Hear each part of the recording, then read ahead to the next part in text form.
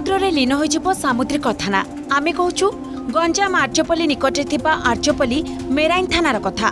ଏହି ଥାନା ଏବେ ଭୂତ କୋଠିର ଭ୍ରମ ସୃଷ୍ଟି କରୁଛି। ନଜର ପକାନ୍ତୁ ଏହି ଦୃଶ୍ୟ ଉପରେ। କେମିତି ଛାତରୁ ସିମେଣ୍ଟ ଖସିଲାଣି। ତ ଆଉ କେଉଁଠି? ବାଲକୋନିରେ କାନ୍ଥ ଭୁଷୁଡ଼ି ଗଲାଣି। ଖାଲି ଏତିକି ନୁହେଁ ଏପଟ ଦୃଶ୍ୟ ଉପରେ ଟିକେ ନଜର ପକାନ୍ତୁ। ଦିନ ଥିଲା ଏହି ସମୁଦ୍ର ଜୁଆର ଏହି ଆର୍ଯ୍ୟପଲ୍ଲୀ ଥାନାର ଏକ କିଲୋମିଟର ଦୂରରେ ମାଡ଼ ହେଉଥିଲା। କିନ୍ତୁ ଏବେ ପଚାଶ ମିଟର ଦୂରତାରେ ଅଛି ଆଉ ଯଦି ଟିକେ ଆଗକୁ ବଢ଼େ ତେବେ ସମ୍ପୂର୍ଣ୍ଣ ଥାନାଟି ସମୁଦ୍ର ଜୁଆରରେ ଲୀନ ହୋଇଯିବ। ବଡ଼ ବଡ଼ ଜୁଆର ସହ ବାତ୍ୟା ପବନ ମାଡ଼ରେ ସାମୁଦ୍ରିକ ଥାନାର କୋଠାଟି ସମ୍ପୂର୍ଣ୍ଣ ରୂପେ ଦୁର୍ବଳ ହୋଇପଡ଼ିଲାଣି ଥାନା କୋଠାର ବିଭିନ୍ନ ସ୍ଥାନରେ ଉପରୁ ସିମେଣ୍ଟ ଛଡ଼ି ପଡ଼ିଲାଣି। ଏହା ସହିତ ଅନେକ କାନ୍ଥରେ ବଡ଼ ବଡ଼ ଫାଟ ମଧ୍ୟ ସୃଷ୍ଟି ହେଲାଣି। ତଥାପି ମଧ୍ୟ ଏଭଳି ବିପଦପୂର୍ଣ୍ଣ କୋଠାରେ ପ୍ରତିଦିନ ପ୍ରାୟ ସାତରୁ ଉର୍ଦ୍ଧ୍ୱ ପୋଲିସ କର୍ମଚାରୀ କାମ କରୁଛନ୍ତି।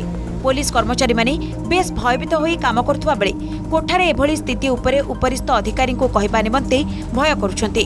କିନ୍ତୁ ସ୍ଥାନୀୟ ବାସିନ୍ଦାମାନେ ଏନେଇ ସ୍ୱର ଉଠାଇଛନ୍ତି।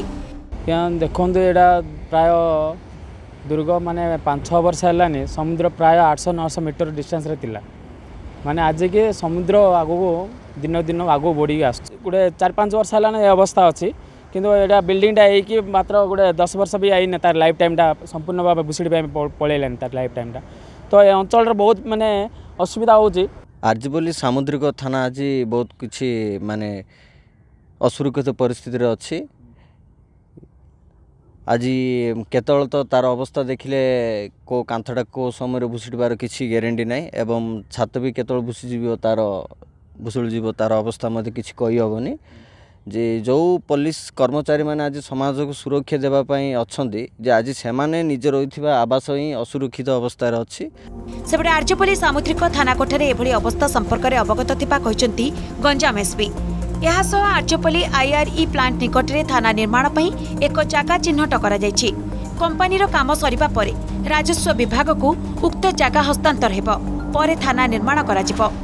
ଯେଉଁ ପ୍ରକାର ସାମୁଦ୍ରିକ ତଟବାଟେ ବିପଦ ଆସୁଛି ଭାରତବର୍ଷକୁ ତା ସେଥିପାଇଁ ସାମୁଦ୍ରିକ ଥାନା ଗଠନ ହୋଇଥିଲା ଆଉ ସେଇଥିରେ ଆର୍ଜିପୁଲିରେ ଗୋଟେ ସାମୁଦ୍ରିକ ଥାନା ଥିଲା ଆପଣ ଦେଖିବେ ସେ ଆର୍ଜିପୁଲର ସମୁଦ୍ର ଲଙ୍ଘି କୂଳ ଖାଇ ଖାଇ ସେ ପୁରା କାନ୍ଥ ବାଡ଼ ପର୍ଯ୍ୟନ୍ତ ଗଲାଣି ସେ କେଉଁ ସମୟରେ ଭୁଷୁଡ଼ିବ ସେ ବିପଜ୍ଜନକ ଅବସ୍ଥାରେ ପଡ଼ି ରହିଛି ତେଣୁ ତାକୁ সেটারু সে থানাকু বাহার করে অন্য জায়গায় করার আবশ্যকতা নিহাতি দরকার রয়েছে যেতবে বি সাইক্লোন আসে that is very near to जो समुद्र का कूल अच्छी एकदम बमुश्किल से दस फीट भी न थी से जगह अच्छी तो से टिके डैमेज हो जाइए और बहुत शीघ्र क्या नाम है हमें प्रपोजल सबमिट करबू और नुआ थाना पाई गवर्नमेंट सैंक्शन करते तेज प्रश्न उठू ଏତେ ସବୁ ପ୍ରୋସେସ ହେବା ଭିତରେ ବିପଦ ସଂକୁଳ ଅବସ୍ଥାରେ ଥିବା ଥାନାଟି ରହିବ ତ?